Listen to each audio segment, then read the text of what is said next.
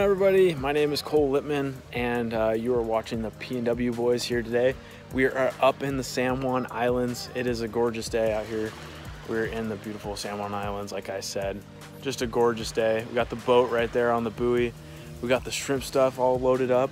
We are gonna go out for some shrimp today. We went out the other day and got like 240. We got our three-man limit, so we are pretty pumped to get back out there and uh, I think the whole fam's coming out. The dogs might even be coming out on the boat, so it'll be a good time. Stay tuned. Pot number one. I'd say that's a success. There they go. Look at these guys. Tell me what just happened. Two limits, one pull. Two limits and one pull. There they are right there.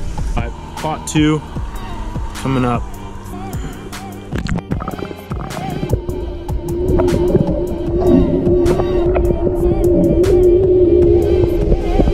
San Juan Islands, we're going for the the spot prawns. I'll show you guys a spot prawn right here. Pot number three coming up, three out of four.